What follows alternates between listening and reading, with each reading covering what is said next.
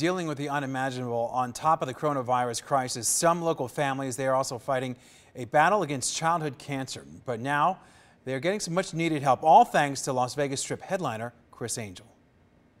As a father with a child who's going through pediatric cancer, you know how difficult it is.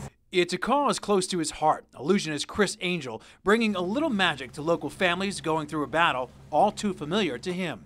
We wanted to give them to, to, to have some hope Angel's six year old son, Johnny Christopher, has had his own battle with acute lymphoblastic leukemia. And for help, the family turned to the Cure for Kids Foundation, a center that helps families dealing with the unimaginable get the treatments they need. Having food insecurities while fighting childhood cancer is not a good combination.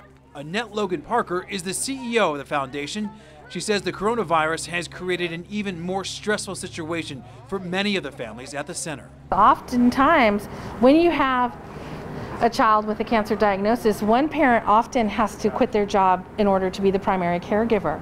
It's a long, long journey, three to four years for the most common types of childhood cancer.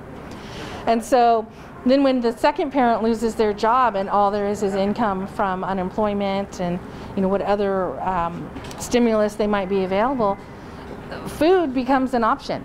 That's why Criss Angel, along with partners at the core group, rallied together to provide more than $250,000 worth of food to these families. It's definitely a relief of stress. I mean, uh, it takes off that burden from that financially so that we, we can concentrate on other things because our kids go through a lot of uh, situations and um, we have to pay for those. So it, it is nice to be able to have that relief of not having to worry about food.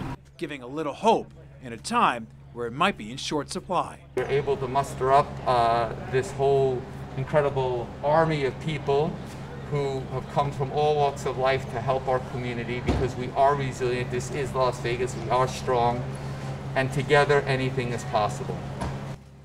Yeah, big effort there. Now, in addition to food, Criss Angel, Base Entertainment, and Caesars Entertainment, they are donating a thousand tickets to future performances of Angel's show Mindfreak to the families and the frontline workers at the Cure for Kids Foundation and also Summerlin Hospital.